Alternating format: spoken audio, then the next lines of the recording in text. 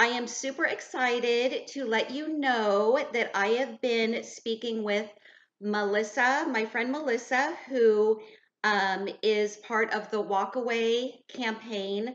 Many of you met her at my home last year when Brandon Straka from the Walkaway movement was uh, here doing an event. So, Melissa and I have been in contact. She is starting a rally movement called We Back Blue. We Back Blue is exactly what it says. It's a rally movement supporting all of our law enforcement officers, past and present. She is going to be holding her very first rally this Saturday in Washington, D.C. And guess where the second rally is going to be? In Napa.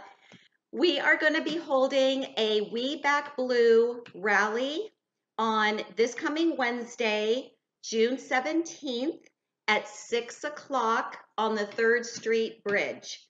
Um, we are at this moment working on getting a flyer made uh, that I will post and share on social media.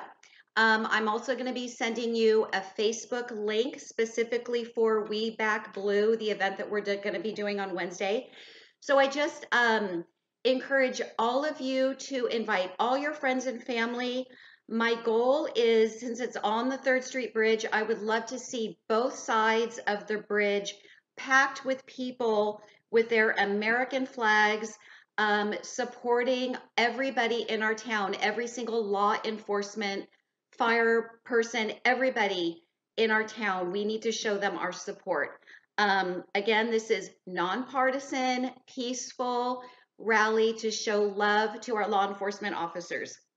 Um, another fun thing that we're doing next week um, is I am part of the Women's Republican group here in Napa, and we are going to be delivering cookies, uh, boxes of cookies, and appreciation cards to all the police uh, stations and fire stations on Tuesday. So, if you would like to bake some homemade cookies and get them to me uh, by Sunday or first thing Monday morning, um, include a card or two of appreciation we are going to be boxing up cookies and delivering them to all the police stations and firehouses on Tuesday afternoon. And that's uh, myself and a bunch of uh, women from the Women's Republican uh, Club of Napa. Um, and then, of course, another great thing happening next week is on Friday, June 19th, President Trump is holding his first rally in a long time in Tulsa. I believe it's Tulsa, Oklahoma.